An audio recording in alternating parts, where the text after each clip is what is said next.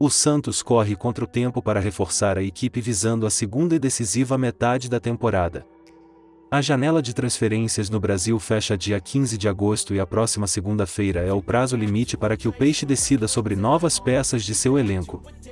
Nesta quinta-feira, 11, segundo informação do portal O Sport, o Santos praticamente fechou a contratação do meia Gabriel Carabajal, o argentino Júnior ficou satisfeito com a oferta em torno de 8 milhões de reais parcelados por 100% dos direitos econômicos do jogador.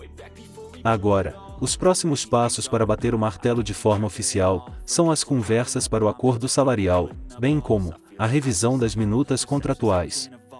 A contratação deve contemplar o vínculo de Carabajal com o Alvinegro Praiano até 2026. O presidente Andrés Rueda promoveu uma reviravolta na transação, pois o Peixe ficou a um passo de encerrar a negociação. No entanto, o atleta fez valer seu desejo de vestir o manto sagrado da vila e com um aumento nos valores ofertados pelo Santos, a equipe argentina liberou Carabajal para negociar.